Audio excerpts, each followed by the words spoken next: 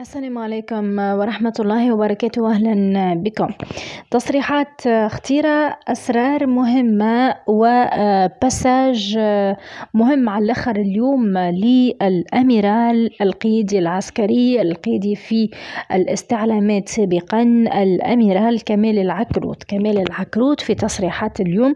كشف على الثورة اللي تم تعيينه في المخابرات بعد 2011 أكيد تعدى على رأسه برشا حاجات وعرف برشا حاجات اليوم كشف البعض منها اللي يتعلق بأشخاص آه، نعرفوهم. رئيس الجمهورية الأسبق المصطفى المرزوقي آه، رئيس حركة النهضة رجد القنوشي النهضة والمنظومة بكلها وكالإيديولوجيا اللي رجعت بها شنو اللي حبوا يعملوا في تونس في المؤسسة العسكرية. علاش تم طرده هو إلى آه تو نقول لكم وين. donc هذا الكل كان آه interview آه رائع بأتم معنى الكلمة يحكي على مراحل في تاريخ تونس وعلى حقائق يعني صارت يمكن برشا ناس ما تعرفهاش. donc الأميرال المتقاعد هو مستشار الأمن القومي شغل في في الاستعلامات سابقا. آه، وكان مستشار الأمن القومي في عهد الرئيس الراحل البيجي قايد السبسي.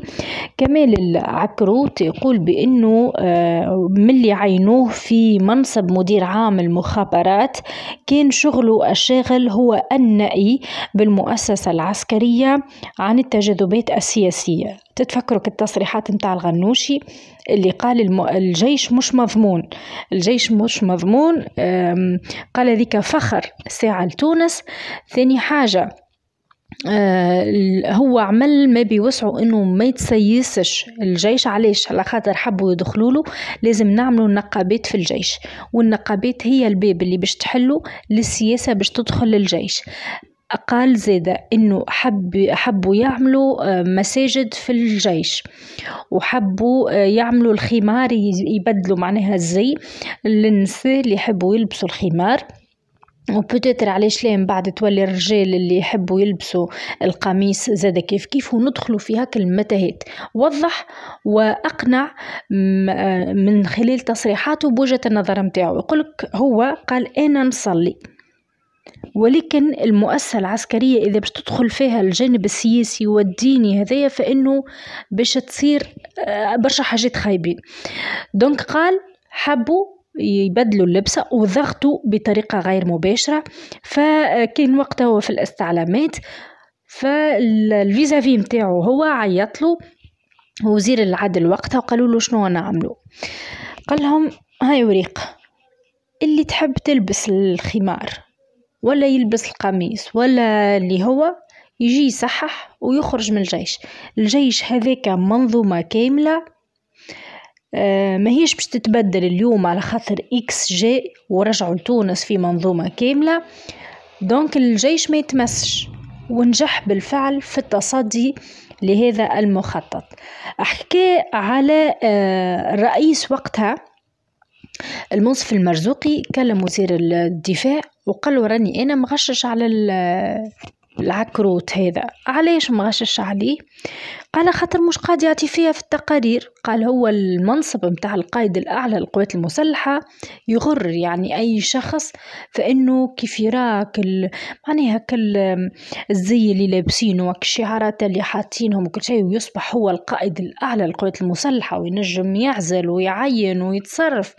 حتى ولو كان جزئي إلا إنه يغر. وهذا اللي قالوا إنه اغتر المنصف المرزوقي وقتها وحب يعطيه كل يوم تقرية يبعثهم له قال أنا من من منطلق معناه المهمة متاعي ويعرف المسؤوليات متاعه. ما نجمش نبعث له ما نجمش نعطي تقارير الواحد كاتب يكتبهم له باش يبعثهم له مستحيل كان ينجم يعمل هذا خاطر أسرار الدولة وأسرار عباد وكل شيء. فقال هو كلم وزير الدفاع وزير الدفاع كلم العكروت قالوا الرئيس متغشى عليك علاش؟ قالوا هكا قالوا قول له نجم نجيك ونقول لك ليسونسيال إنهم ضبطوا موعد مع بعضهم. كيف مشى العكروت للقصر؟ يلقى جلسة قاعة فيها مجموعة من الناس. قال أنا خرجت وقعدت لبرا. وكلم متاع التشريفات والبروتوكول قالوا أنا ما نجمش نقعد في جلسة هكايا ونعطي أسرار دولة. وعيط للمرزوقي قالوا سيد الرئيس راهو مش ممكن معناها باش نعطي أسرار الدولة في الجلسة هذه يحكي على برشا الحقيقة تفاصيل وبرشا حاجات هكا كنت كنا ما نعرفوهاش إحنا كنت تغيب علينا. دونك قال اللي هو عمل على إنه يجنب المؤسسة العسكرية التجاذبات السياسية ولا تدخل فيها وهذا اللي تسبب في العزل متاعه. بعثوا ليبيا وقتها وهو وقتها بحكم المنصب متاعه كان يمشي غادي في ليبيا. في الوقت هذاك بعد 2011 ممكن تصير له برشا حاجات. كي اعترض قال له أبعثني لأبو ظبي. قال له ليه نبعثك لمصر. المهم في مصر زاد آه، قال وقتها الجنرال عبد الفتاح السيسي تو يتهموني بالانقلاب والديوغ من بعد يعني في الوقت آه، حكاو هالحكاية هذه. أما قال كعسكري راهو لا سبيل إليه التخمين في الانقلاب ولا الجيش انقلب ولا طلع شنو مستحيل. آه، يقول زاد إنه آه، معناها بقرار من آه، منصف المرزوقي كلم وزير العدل قالوا نقلناه هذا إلى طرابلس وقال رفض باش يمشي آه، لطرابلس معناها ملحق عسكري وطلب إنه يمشي لأبو ظبي. في الأخر بالكل حصيله قبل إنه يمشي لابو ظبي وبالتالي فما برشا حاجات حكى عليهم. كما قلت لكم الحجاب قال زاده إنه آه، التعامل مع موضوع تسمم الرئيس الراحل البيجي قيد سبسي كان تعامل غير مهني. يقول أول حاجة فخر لتونس إنه رئيسها تعالج في مستشفى تونسي المستشفى العسكري بقدرات تونسية وكفاءات تونسية.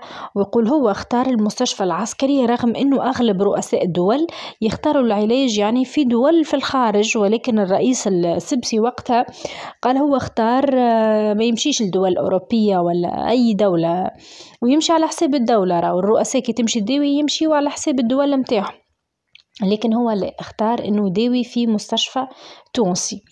يقول حقق السبسي نجاح لتونس على المستوى الأمني والدفاع والعكروتي يقول بأنه أول قرار تم اتخاذه بعد اجتماع بعد الاجتماع الأول متاع المجلس الوطني للأمن في 12 فيفري 2015 هو التسريع في إصدار قانون مقاومة الإرهاب واستراتيجية وطنية لمكافحة الإرهاب وغسيل الأموال وهو ما جعل تونس تشهد نجاحات أمنية ضد الإرهاب على حد تعبيره.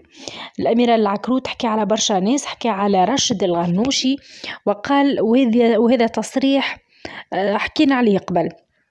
كان حاضر في قناة تلفزية حطوا له تصويرة رجل الغنوشي قالوا شنو تقول؟ له وقتها رئيس البرلمان رجل الغنوشي قال نقول له اخرج من الباب الكبير. اخرج من الباب الكبير. قال هو ما سمعش الكلام وما يسمع كلام حتى حد هكا خرج من الباب الصغير. يقول معناها مع وقت اللي مشى للمنفى في بريطانيا سافر شنو وقتها دمغجو هو مدمغج بطبيعته ومشى لبريطانيا. وكيف رجع؟ رجع حب ينتقم من تونس.